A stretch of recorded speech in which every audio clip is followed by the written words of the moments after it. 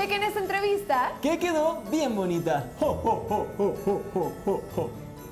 Un tropezón Puede prevenir una caída. Ese es el dicho del día de hoy, familia. Yo soy Nuria y estoy súper contenta de presentar con nosotros al señor Alejandro Ávila. ¿Cómo está usted, señor Alejandro? Muy bien, muchas gracias. Qué padre recibirlo por acá. Es una bendición de Dios estar aquí otra vez. Y además, sin duda, este es un capítulo muy especial para usted. porque A ver, cuéntenos. Pues fíjate que lo especial de este capítulo es que está trabajando mi nieto Ajá, real. Sí. Mi hijo real. Y mi nuera real. ¡Qué cosa tan maravillosa! Es algo inédito, yo creo. ¿eh? Nunca habían trabajado. Conjuntar, no, no. Conjuntar los cuatro es muy difícil.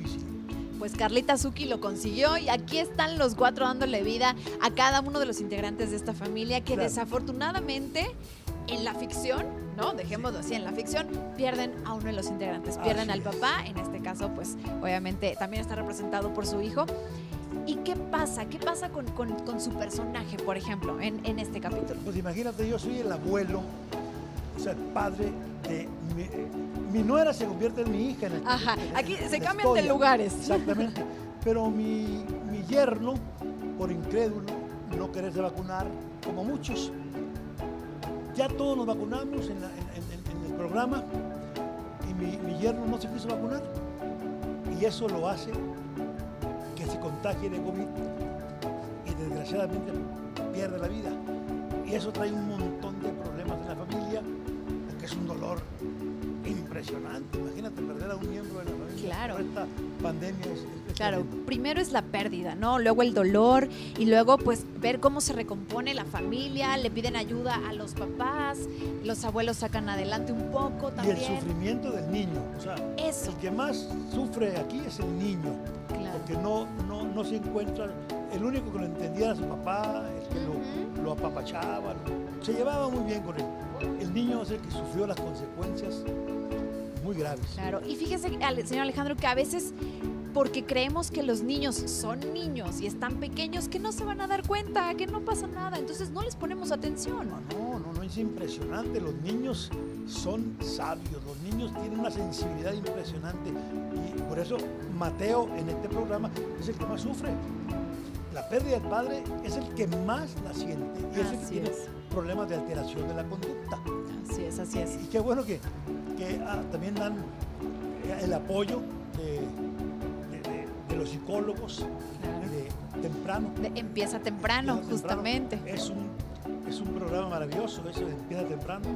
Ojalá y todos los padres se abocaran a, a estar pendientes de ese programa. Así es, señor. Así es, empiezatemprano.org es la página para que ustedes lo puedan visitar. Forma parte de una fundación muy grande también que tiene que ver con Fundación Televisa. Y también hay una aplicación móvil que todos podemos descargar en nuestro teléfono. ¿Usted tiene smartphone, señor Alejandro? Entonces podría descargar esa aplicación. Claro. Se llama Broom para que ustedes también la puedan utilizar. Y es una aplicación, digamos que muy fácil, una plataforma donde podemos ver videos y con estos videos nosotros nos damos ideas de qué actividades podamos hacer con los niños para desarrollar, para estimularlos, para, digamos que fomentarles la imaginación y sacarlos de, de- de este, de, este- de esta depresión, porque incluso pueden tener. Imagínate el, el no tener clases presenciales, los recluyó como si fueran prisioneros en su propia casa. Eso les ocasionó un problema emocional muy grande. Y desgraciadamente todavía hay muchos papás que Claro. se niegan a llevar a los niños a la escuela. No se dan cuenta que la escuela es, Es vital. Exacto, tanto a usted como a mí nos tocó vivir esa época. Ahora hay muchos niños que no conocen la escuela. Entonces es, es una realidad que, que tenemos que irnos adaptando, pero también saberla manejar. Y justamente con estas herramientas ustedes lo van a poder, pues sin duda, utilizar y aplicar en su familia. Señor Alejandro, qué placer tenerlo con nosotros. Muchísimas gracias, igualmente, estoy muy contento yo, sobre todo porque me encontré con un gran amigo, Sergio Corona, Ay, hace sí. muchísimos años trabajamos juntos en, ¿En dónde trabajaron en el juntos? Hombre de la Mancha. Él hacía Sancho Panza. ¡Wow! ¿Y usted qué el personaje? ¡Ay! ¿Y usted qué personaje hacía? Yo hacía el gobernador.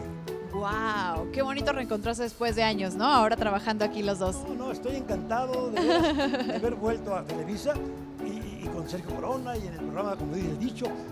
Eh, es una bendición de Dios. de Qué veras. padre, señor Alejandro. Pues aquí lo vamos a recibir con muchísimo cariño siempre que esté por acá con nosotros. Gracias. Gracias a usted por ser parte del café más famoso de, De México. México, ¿eh?